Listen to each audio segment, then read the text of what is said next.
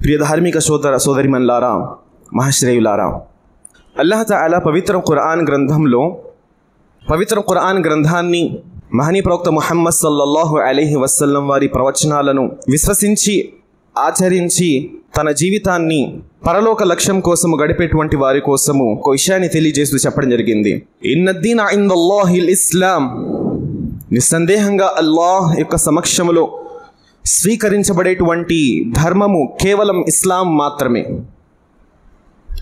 మరొక చోట అల్లాహ్ చెప్పడం జరిగింది ఒమయ్యబ్తగి గైరల్ ఇస్లామి దీనన్.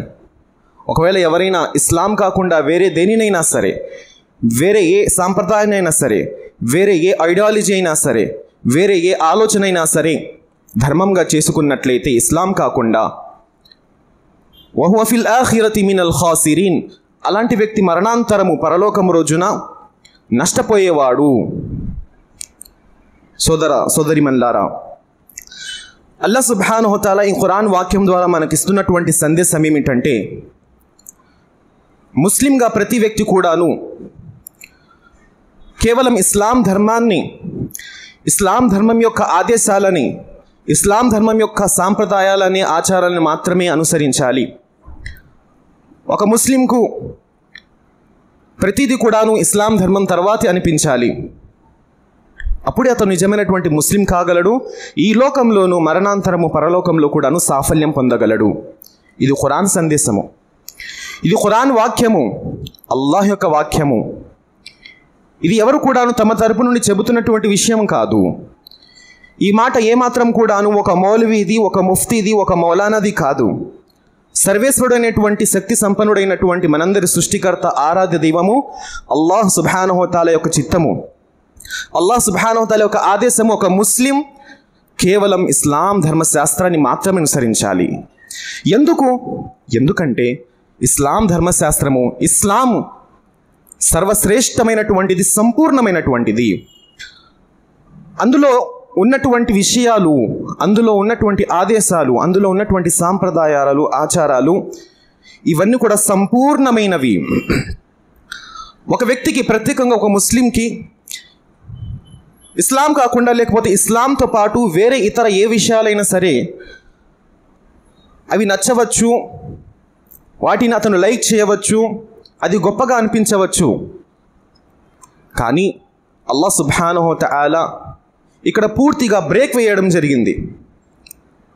ఏమాత్రం కూడాను ఒక ముస్లిం ఇస్లాం ధర శాస్త్రాన్ని విడిచిపెట్టి తన సొంత ఆలోచన కానీ సొంత అభిప్రాయాన్ని కానీ లేకపోతే ఇతర ఏ విషయాలను కానీ అతను అందులో జోక్యం చేయలేడు. ఎందుకని? అల్లా సుబ్హానహు ఆలా ఒక ముస్లింకి స్వేచ్ఛ ఇవ్వలేదా? ఒక ముస్లింకి ఏమాత్రం కూడా స్వేచ్ఛ లేదా? అతను అనుకున్న విధంగా అతనికి తోచిన విధంగా ఏమి చేయలేడా? వాస్తవానికి ఇక్కడ అర్థం చేసుకోవడంలో పొరపాటు ఉంది. ఈ విషయాన్ని కనుక ఒక ముస్లిం అర్థం చేసుకుంటే ఇస్లాం చెబుతున్నటువంటి ఈ మాట పవిత్ర ఖురాన్ గ్రంథం యొక్క ఈ వాక్యము ఇస్లాం తప్ప దేనిని కూడా అనుసరించకూడదు స్పష్టమైపోతుంది. అదేమిటంటే మనిషికి లేక మనిషి యొక్క మె- మ- మనసుకు కానీ మెదడుకు కానీ ఇస్లాం కాకుండా లేకపోతే ఇస్లాంతో పాటు వేరే విషయాలు కూడా నచ్చవచ్చు అతను దాన్ని మెచ్చుకోవచ్చు లైక్ చేయవచ్చు. కానీ దానిని ధర్మంగా కానీ శాస్త్రంగా కానీ సాంప్రదాయం కానీ యాక్సెప్ట్ చేయకూడదు. ఎందుకంటే అది కాసేపటికి మంచిగా చక్కగా అందముగా గొప్పగా అనిపించవచ్చు. కానీ అది సర్వేశ్వరుడైనటువంటి శక్తి సంపన్నుడైనటువంటి సృష్టికర్త అల్లా సుబ్హానహు తఆలా చెప్పినది కాదు. అల్లాహ్ సుబ్హానహోత అలా చేయమని ఆదేశించినది కాదు. అది ఒక మనిషి కానీ ఒక సమూహం కానీ ఒక వర్గం కానీ చేసుకున్నటువంటిది లేకపోతే అది వారి యొక్క అభిప్రాయము. ఇక మానవుడు ఒక మనిషి ఒక గ్రూప్ ఒక సర్ వర్ వర్గము వారందరూ కూడా మానవులే మనుషులే. వారు తయారు చేసినవి వారు ఆలోచించుకున్నటువంటివి అవన్నీ ఏదో ఒక రోజు తప్పని నిరూపించబడతాయి. కానీ ఇస్లాం ధర్మం అనేది ఈ సృష్టిని సృష్టించినటువంటి అల్లా సుభానహోత ఆల యొక్క ధర్మము. ప్రవక్తల యొక్క పరంపరాను పంపిస్తూ చిట్ట చివరి ప్రవక్త అయినటువంటి ముహమ్మద్ సల్లల్లాహు అలీహి వసల్లం వారిపై ఇస్లాం ధర్మాన్ని సంపూర్ణం చేసినటువంటి ధర్మము ఇస్లాం ధర్మము. ఇది సర్వశ్రేష్టమైనటువంటి ధర్మము ఇందులో ఏ లోపము లేదు. ఇందులో వేలెత్తి చూపించాల్సినటువంటి ఏ విషయము లేదు. చాలామంది ఇస్లాం ధర్మానికి సంబంధించినటువంటి విషయాలలో ముస్లిం సోదరులలోనే ఎన్నో అపోహలు ఉంటాయి. ఎన్నో అవాస్తవాలకు వారు గురై ఉంటారు. వాస్తవం ఏమిటంటే వారు ఇస్లాం ధర్మాన్ని సరిగా అర్థం చేసుకోలేదు కాబట్టి. ఇస్లాం ధర్మాన్ని ఎలాగైతే అర్థం చేసుకోవాలో అలా అర్థం చేసుకోలేదు. అయితే ఎలా అర్థం చేసుకున్నారు? ఒక ముస్లిం ఎవరైతే ఇస్లాం ధర్మాన్ని పాటిస్తున్నాను అని చెప్పుకుంటున్నాడో అతన్ని చూసి ఇస్లాం ధర్మాన్ని పొరపాటుగా భావిస్తున్నారు. ఐదు పూటల నమాజ్ చదివే ఒక ముస్లిం టోపీ ధరించేటువంటి ఒక ముస్లిం దాడి పెట్టుకున్నటువంటి ఒక ముస్లిం అతను ఇస్లాం కాదు. అతను ఇస్లాం కాదు అతను ముస్లిం అతను ఫాలోవర్ ఇస్లాంను ఫాలో అవుతున్నటువంటి వాడు. ఇస్లాం అనేది పవిత్ర ఖురాన్ గ్రంథము. మహనీ ప్రవక్త మహమ్మద్ సల్లల్లాహు అలైస్లం వారికి ప్రవచనాలు ఈ రెండింటిని మాదాక చేరవేసినటువంటి ప్రవక్త వారి యొక్క శిష్యులు సహాబా రది అల్లాహు తాలాను వారి యొక్క మార్గదర్శకత్వము. ఇది ఇస్లాం అంటే. సోదర్ మహాశైలారా అయితే వాస్తవానికి ఇస్లాం ధర్మము శ్రేష్టమైనటువంటి ధర్మం అని అర్థం చేసుకోకపోవడానికి కారణము కొన్ని అపోహలు మాత్రమే. అలాంటి ఎన్నో అపోహలు మన సమాజంలో ఉన్నాయి. ఆ అపోహలు ఆ వాస్తవాలు ప్రజల్లో చాలా విస్తీర్త విస్తీర్ణ పొందుతూ ఉన్నాయి. అందులోని కొన్ని అపోహల గురించి చర్చించుకొని. ఇస్లాం ధర్మం యొక్క మూల గ్రంథాలు ముస్లింల యొక్క మూల గ్రంథాలైనటువంటి పవిత్ర ఖురాన్ గ్రంథము మహనీ ప్రవక్త ముహమ్మద్ సల్లల్లాహు వారి యొక్క ప్రియ ప్రవచనాల గురించి మనము పరిశీలిద్దాము. ప్రియ ధార్మిక సోదర సోదరిమన్లారా ముస్లిం సముదాయంలో ముస్లిం సమాజంలో ఉన్నటువంటి అపోహలలో ఒక అపోహ. క్యాస్ట్ ఫీలింగ్ కులము జాతి యొక్క భావన. చాలామంది ముస్లిం సోదరులు కూడాను ఈ యొక్క క్యాస్ట్ ఫీలింగ్ అనే క్యాస్ట్ ఫీలింగ్ అనేది కనబడుతుంది. ఎలాగా? ఇంటి పేర్లతో. వాస్తవానికి ఇస్లాం ధర్మంలో ఇంటి పేరు అనేదే లేదు. ఇనీషియల్ అనేదే లేదు. ఇక్కడ ప్రభుత్వం మనకు ఇదే రూల్ని పాస్ చేసింది కాబట్టి ఇది నడుస్తుంది కాబట్టి అలా వెళ్ళిపోతుంది. కానీ ఇస్లాం ధర్మంలో ఇనీషియల్ కానీ ఇంటి పేరు అనేది కానీ లేనే లేదు. అయితే చాలామంది ఈ ఇనీషియల్ పేరు మీద ఇంటి పేరు అనేటువంటి దాని మీద నేను గొప్ప నా కులము గొప్ప అనేటువంటి భావన కలిగి ఉన్నారు. ఎలా? నేను పఠాన్ని నేను సయ్యద్ని నేను ముహమ్మద్ని నా ఇంటి పేరు ముహమ్మద్ నా ఇంటి పేరు పఠాన్ నా ఇంటి పేరు సయ్యద్ నేను షేఖ్ని నేను అబ్దుల్ని ఇలా ఒకటి కాదు రెండు కాదు ఎన్నో పేర్లు పెట్టుకొని చాలామంది ముస్లిం సోదరులు నేను ఫలానా ఫలానా వంశానికి చెందినటువంటి వాడిని నా వంశము ఇది. నేను సయ్యదుల యొక్క వంశానికి చెందినటువంటి వాడిని. కొంతమంది సయ్యద్ అనే పేరుకు తమ ఇంటి పేరు అని పెట్టుకొని సయ్యద్ అంటే ప్రవక్త ముహమ్మద్ సల్లల్లాహు అలైవల్లం వారి యొక్క వంశం నుండి వచ్చినటువంటి వారు అని అనుకుంటున్నారు. సయ్యద్ అనే పేరు పెట్టగానే ఏ వ్యక్తి కూడాను ముహమ్మద్ సల్లల్లాహు అలైవల్లం వారి యొక్క వంశం కాడు. ఇస్లాం ధర్మము ప్రవక్త ముహమ్మద్ సల్లల్లాహు అలైవల్లం వారి యొక్క వంశవాళి అని నిరూపించడానికి ఆధారం అడుగుతుంది. ఎక్కడైనా సరే. ఏమిటి ఆధారము? ప్రవక్త మొహమ్మద్ సల్లాహం వారు అరబు దేశానికి చెందినటువంటి వారు. అరబు ప్రాంతంలో ఇప్పటికి కూడాను ఒక పరంపర ఉంది. అదేమిటంటే వారు తమ తాత ముత్తాతల పేర్లు గుర్తుపెట్టుకుని ఉంటారు. ఒక సర్టిఫికెట్ కూడా వారి వద్ద ఉంటుంది. నా వంశం ఇది అని. నా తండ్రి గారు నా తండ్రి గారి తండ్రి గారు ఇలా పేర్లు చెప్పుకుంటూ పోతారు. కానీ ఇక్కడ పాకిస్తాన్ బంగ్లాదేశ్ భారతదేశంలో ఇతర దేశాల్లో ఎవరైతే ఈ సయ్యద్ అని పేరు పెట్టుకొని నేను ప్రవక్త వారి వంశానికి చెందినటువంటి వాడిని అని చెప్పుకుంటూ ఒక ఫీలింగ్కి కలిగి ఉన్నారు అది అవాస్తవము. అదేవిధంగా పఠాన్ అయినా సరే మొహమ్మద్ అయినా సరే అహ్మద్ అయినా సరే షేక్ అయినా సరే అబ్దుల్ అయినా సరే దీనికి ఎలాంటి వాస్తవికత లేదు. కేవలం నోటి మాటలు మాత్రమే. ఆధారాలు ఏవీ లేవు. ఈ యొక్క ఇనీషియల్ పేరుతోనే ఇంటి పేరుతోనే ఇక్కడ కుల పిచ్చి యొక్క విభాగం మనకు కనబడుతుంది. ఏ విధంగా? ఉదాహరణకి వివాహాలను తీసుకుందాం. నికాహ జరిగితే నా వంశం వారే ఉన్నారా? లేకపోతే సయ్యదులే ఉన్నారా? సయ్యద్లోనే చేస్తాం మా పిల్లకి ఇచ్చి మొహమ్మద్లా? సరే మొహమ్మద్లోనే ఇస్తాము. వేరే వంశంలో ఇవ్వము. ఒకటి కాదు ఈ నిఖా యొక్క విషయమే కాదు మరెన్నో విషయాల్లో కూడాను ఈ పేర్లు ఏదైతే గుర్తింపు కోసం పెట్టడం జరిగిందో వాటిని ఒక కులముగా భావించడం జరుగుతుంది ముస్లిం సముదాయంలోని కొంతమంది ప్రజలు దీన్ని కులంగా భావిస్తున్నారు. ఎవరు చెప్పారు వీరికి? ఎక్కడ రాసి పెట్టి ఉందా వారి వంశంలో?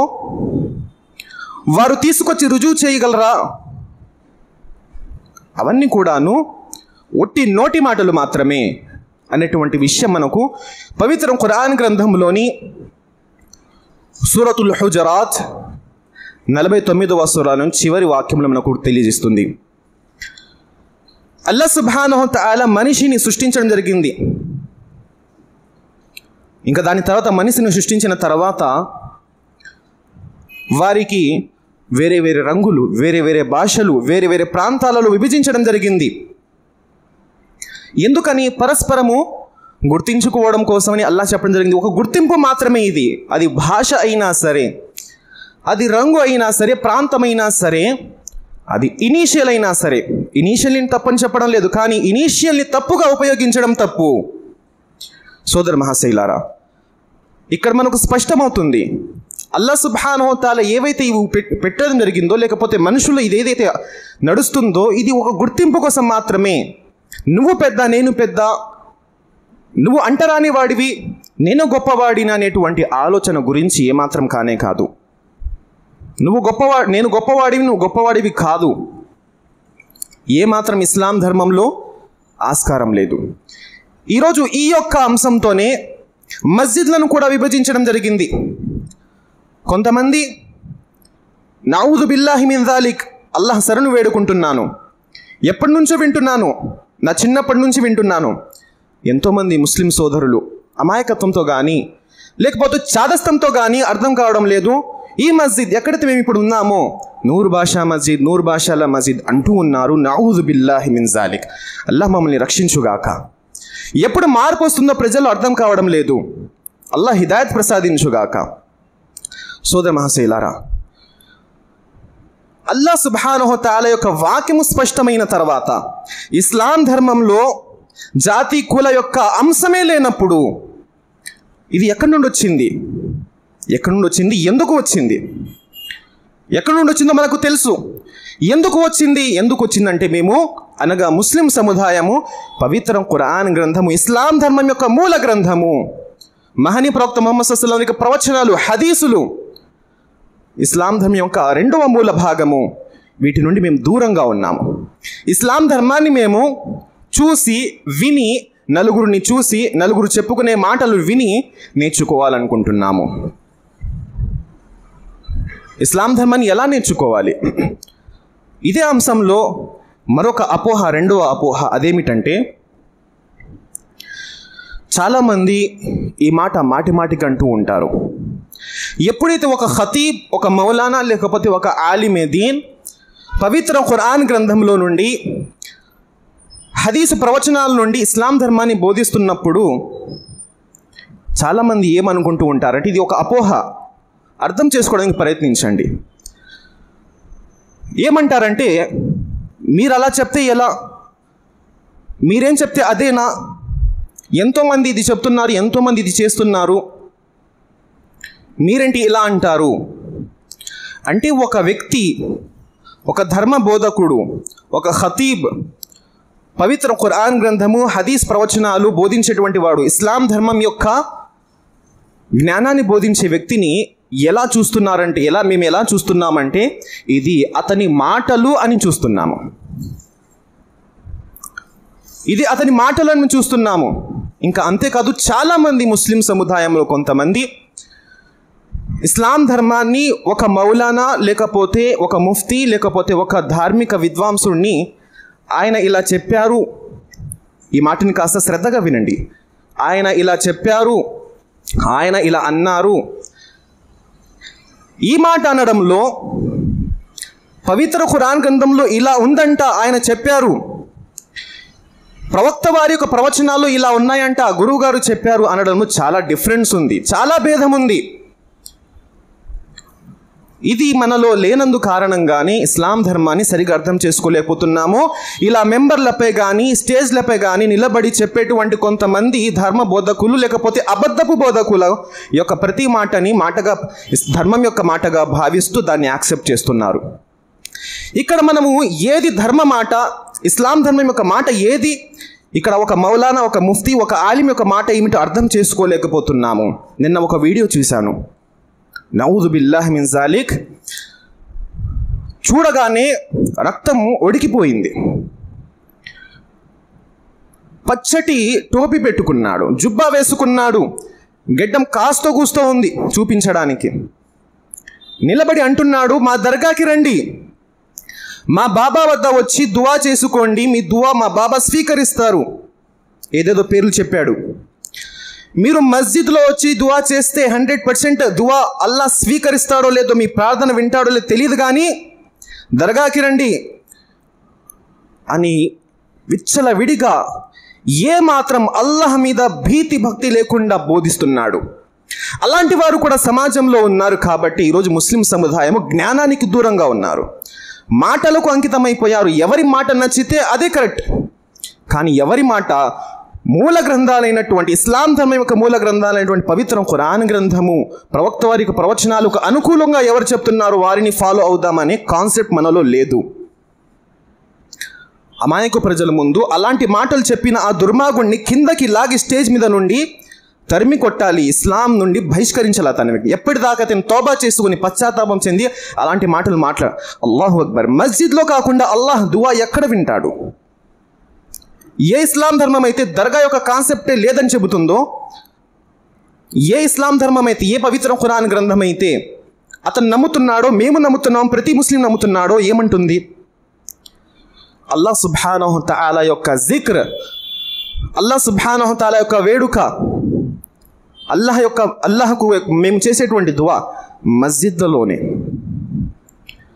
మృతి చెందినటువంటి దర్గాలో ఉన్నటువంటి మజార్లు కానీ వారు ప్రళయం వరకు ఎప్పుడు కూడా మేము చేసే దువాలు వినరు. వాటికి సమాధానం కూడా ఇవ్వరు అని పవిత్ర ఖురాన్ చెబుతున్న తర్వాత కూడా.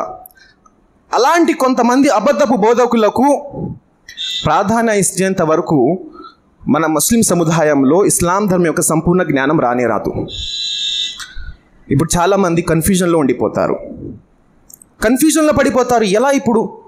అబద్ధపు బోధకుల్ని తెలుసుకోవడం ఎలా? సత్యవంతులైనటువంటి ఉలమాయే హక్. సత్యాన్ని బోధించేటువంటి ఉలమాలను తెలుసుకోవడం ఎలా? చాలా సింపుల్. మనం ఖురాన్ చదవడం ప్రారంభించాలి. ప్రవక్త వారి యొక్క ప్రవచనాలు చదవడం ప్రారంభించాలి. చదువుకోవాలి. తెలుసుకోవాలి. మనము మన ఫీల్డ్కు సంబంధించిన ప్రతి విషయం తెలుసుకుంటాము.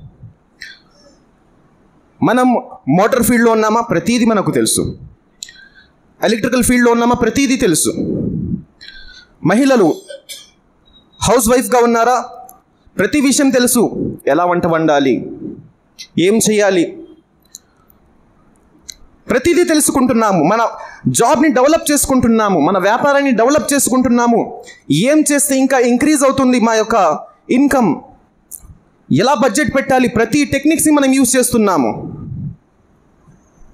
ఒకవేళ మేము ముందు ఏదైతే నేర్చుకున్నామో కాస్త కూస్తూ అది నేర్చుకుని అలాగే ఉండిపోతే వ్యాపారం అనేది ముందుకు సాగదు.